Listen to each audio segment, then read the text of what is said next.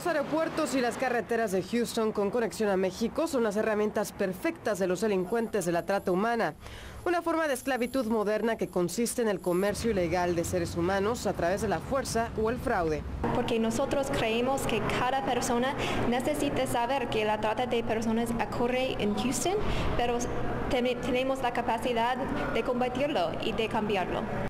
La alcaldesa Anise Parker sabe que la ciudad no está exenta al tráfico humano debido a su ubicación geográfica, por lo que encomendó la creación de un comité compuesto por 10 líderes, entre los cuales se encuentra el alguacil del condado Harris. Tenemos muchos reos en nuestra custodia que saben de alguien que está haciendo algo, entonces por eso yo quiero suplicarles a los reos que nos lleguen a compartir información y eso se llega a trabajar con las autoridades locales, igual con las autoridades este, federales. De acuerdo a autoridades y organizaciones, septiembre es el mes de concientización del tráfico y trata humana, una industria criminal con rápido crecimiento en la ciudad de Houston.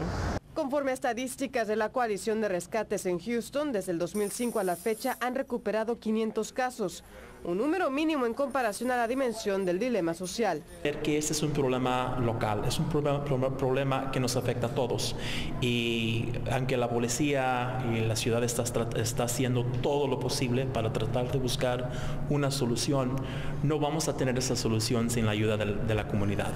El Departamento de Justicia ha declarado la autopista interestatal 10 como uno de los corredores principales del tráfico y trata humana, hecho por el que las autoridades locales piden a la comunidad ser la voz de las víctimas, ayudando a reportar cualquier sospecha. Mariana Pineda, Noticias 45, Univisión.